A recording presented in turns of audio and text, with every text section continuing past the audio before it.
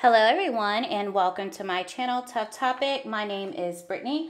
I hope everyone is having a wonderful day today so far. If you're subscribed to my channel, thank you so much. If you're not subscribed yet and you like my content, go ahead and hit that subscribe button. So I have not done an update on the Duggar sisters and the Duggar in-laws in a while, and I'm glad to finally get a chance to fill you all in. Ever since Counting On canceled, the Duggar family, mostly just the sisters though, have been using their platforms and their creativity to make money.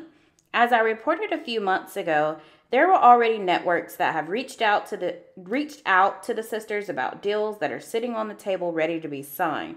However, the moment their contracts and Josh's case is done, they will be asking for the pins. But Best believe under the TLC contract, that has not stopped the sisters and the in laws from partnering and sponsoring ads for various companies.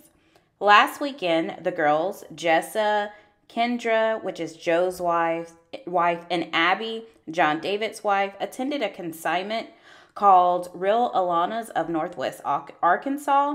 The girls had some perks for jumping on Instagram and sharing information about the sale, and it was pretty obvious because it's very rare, rare that Kendra and Abby will even get on Instagram and do anything. But most recently, Jessa and Jinger collaborated with a new company called PatPat Kids, which is a kids' clothing store. The brand will send the girls free items to promote on their social media pages, as well as give them an incentive. Typically, we would call Jinger and Jessa influencers. They rely on a sponsored content to make a living.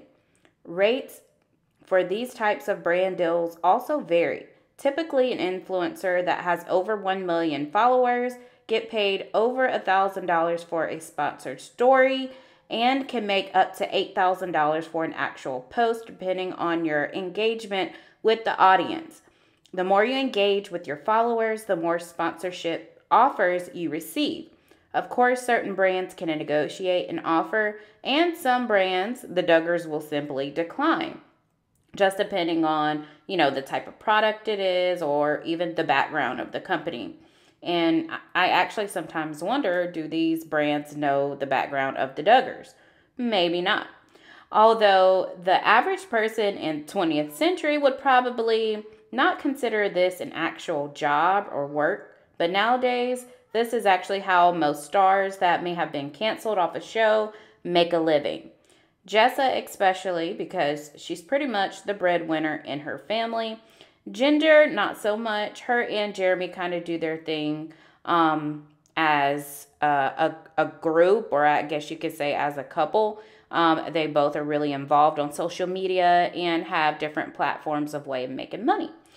So that's what I have for the girls as of right now. They are doing their thing, they are making money, and they are not worried about Josh case. They don't think that that will have any effect on them earning a living. So with that being said, um, you can let me know in your comments below what you think about their new deals that they have. And um, with that being said, it's all I have for you today, and I will talk to you guys soon.